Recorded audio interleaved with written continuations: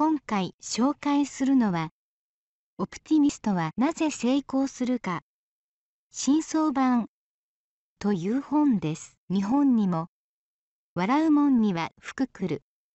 といったことわざがあるように、楽観主義が現世における成功の大きな鍵になることは、洋の東西を問わないようだ。我々は日常生活においても自信を持ってことに臨むことがいかに大切か大なり小なり経験的に知っている。本書はそれを心理学という科学的見地から実証的に説明している。数少ない。まともな自己啓発本。この本の良いところは巷にあふれる自己啓発本かと思いきやす人向けに分かりやすくポジティブ心理学という学術的な分野について解説してくれる本であるというところでしょう。思考人は古典文学から経済書まで雑多なジャンルの本を読みますが、自己啓発本も嫌いではありません。ただ、正直に言えば、ベストセラーになる類の自己啓発本はいいこと言ってるのは間違いないのですが、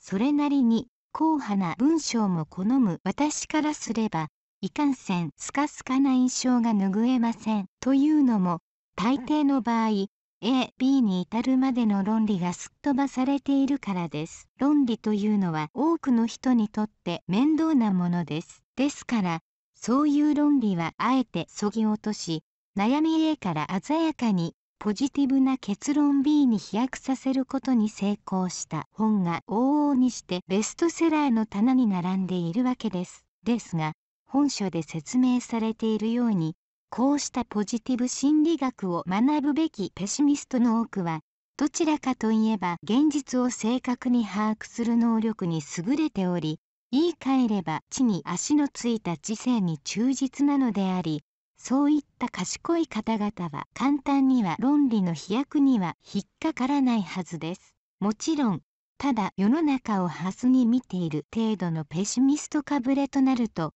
いとも簡単に逆張りに引っかかったりもしますけれども、つまり、巷の自己啓発本を読んで悩みが解決する程度のものであれば、花から自己啓発本など必要ないのです。本書のオプティミストの方が健康で成功した人生を送る確率が高いという結論それ自体は、凡百のポジティブ自己啓発本とおそらく変わりはないでしょう。ただ、そこに至るまでの道筋が、きちんとフロイトに始まる精神医学という分野の変遷を交えながら説明されているということが大きな違いです。そうした長々とした説明を厭う方もおりましょうが、自己を啓発するということは、それほど生優しいものじゃないはずです。皆さんそれなりに長い年月を生きてこられたのですから、そうした過程で作り上げた